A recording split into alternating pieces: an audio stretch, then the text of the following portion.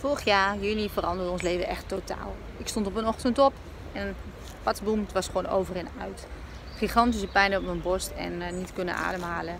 Bleek een longembolie. Het is werkelijk waar een wonder dat ik hier nog sta.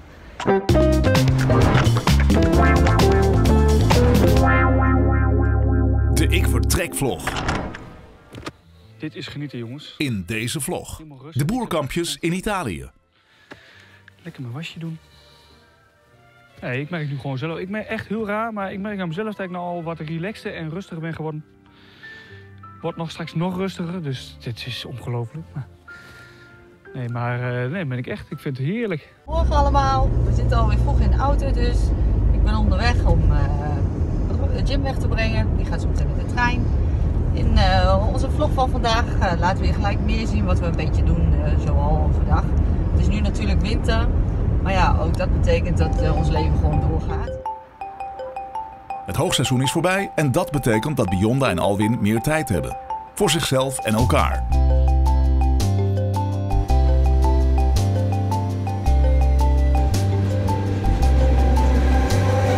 Nou, het is lekker vroeg. Jim zit net op de trein. En wij gaan eventjes een uh, stukje wandelen, rennen. Hardlopen. Zo. Ik ben kapot. Ja, we wel 20 minuten.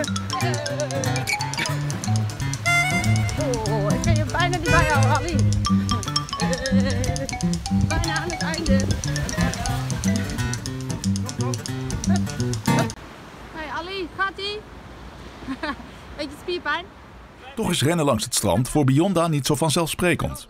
Nog diezelfde dag neemt ze ons mee naar het ziekenhuis waar ze een afspraak heeft.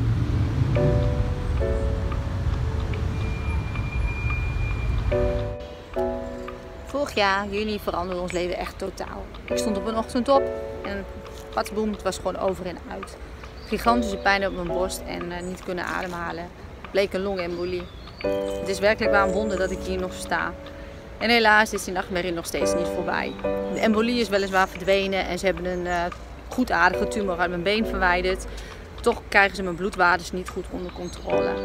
Dat bleek ook wel weer toen ik in mei afgelopen jaar toch weer met spoed werd opgenomen met een ernstige bloedarmoede. Het ziekenhuis hier is echt niet te vergelijken met het ziekenhuis in Nederland. Het grootste verschil is denk ik wel dat je hier als patiënt echt bent aangewezen op je familie.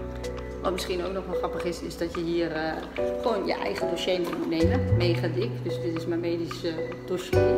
Uh, Tijdens de controle blijkt dat Bionda nog een verdikking heeft in de slagader van haar linkerbeen. Hoe dit wordt verholpen wordt komende tijd duidelijk. Na een druk hoogseizoen is het tijd om zelf ook even tot rust te komen. En waar ga je heen op vakantie als je al in Italië woont? Op naar Griekenland.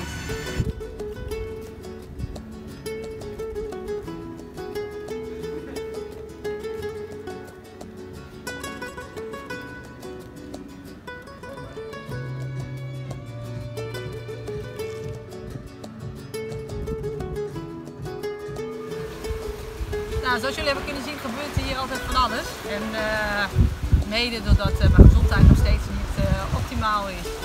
En eigenlijk ook omdat Michael en Jim ondertussen zo oud zijn dat zij na al deze jaren ook wel wat anders willen.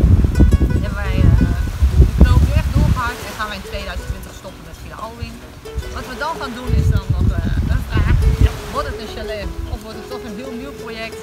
Het kan nog alle kanten op. Dus, Komt zeker goed. En als jullie het willen volgen, kijk ons op Facebook en op Instagram. Kun je allemaal zien wat wij gaan doen. Blijf spannend. Blijf spannend. Nu, chin chin. Chin chin. In de volgende vlog. Theo en Jolanda in Gambia. We zitten nu op een kruising. Van je eigenlijk niet weet hoe je erover moet, maar uh, steek je je hand uit het raam en dan uh, stopt er wel iemand en dan kun je er tussendoor.